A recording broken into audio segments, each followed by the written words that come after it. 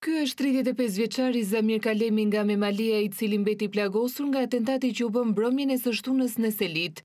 Nga informacionet e para hetimore, Zamir Kalemi ka qenë duke udhëtuar me makinën e tij Smart, kur është qëlluar ndaj tij me armë që dyshohet se ishte Kalashnikov, duke e lënë të plagosur në këmbë jashtë rrezikut për jetën.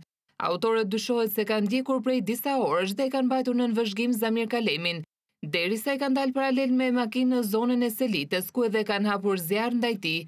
Në vendin e ngjarjes janë gjetur trembëdhjetë gëzhoja automatiku, ndërsa sipas hetimeve, Zamir Kalemi ka pikasur autorët dhe ka tentuar të shpëtojë duke devijuar automjetin, ku është përplasur me bordurat ndarëse të rrugës. Pak pas atentatit një makinë është gjetur e djegur në Bërzhitë, targat e së cilës rezultojnë të vjedhura në Tiranë. Brenda makinës nuk janë gjetur gjurmë për shkak se zjarri ka shkatërruar çdo provë, ndërsa po hetohet nëse mjeti është përdorur nga autorët e kësaj ngjarje. Atentati ndaj Zamirit dyshohet të ketë lidhje me sagën e vrasjeve të Aleksandër Sadikajt dhe Edmond Papës.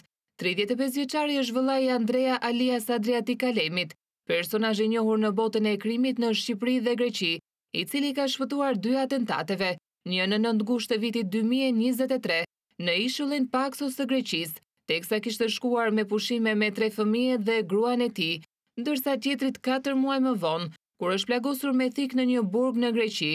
Zamiri dhe Andrea janë djem të dajës së Aleksandër Sadikajt, i cili u vra në një shpërthim me telekomandë në afërsi të Tegut, në njëmbëdhjetë qershor të vitit dy mijë e njëzet e dy.